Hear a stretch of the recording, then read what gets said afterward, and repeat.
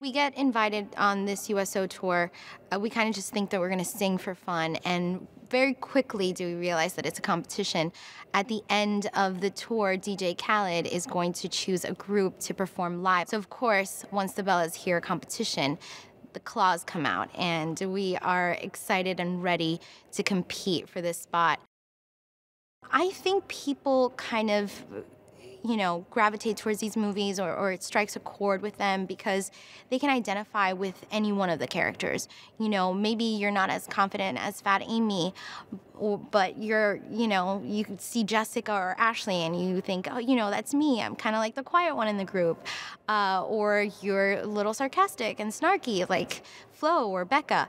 Um, so I think that, that you can, you see yourselves in these girls.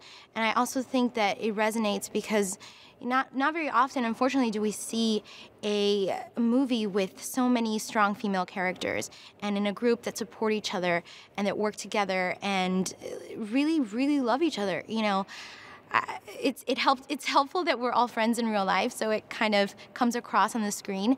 But I think that that's what what the audiences and what the fans see. I, I think they see that it's uh, genuine and it's powerful and inspiring.